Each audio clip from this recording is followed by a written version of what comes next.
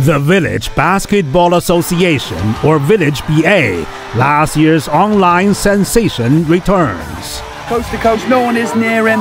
In the air, in off the glass, that's a couple more for the home side. As people in rural Guizhou province in southwest China go down to the court or gather at the auditorium.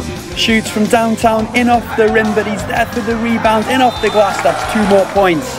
For their annual sporting extravaganza. For the first time, CGTN will live broadcast the event in English to our global viewers. Another popular event for rural residents, the Village Super League, is also about to kick off.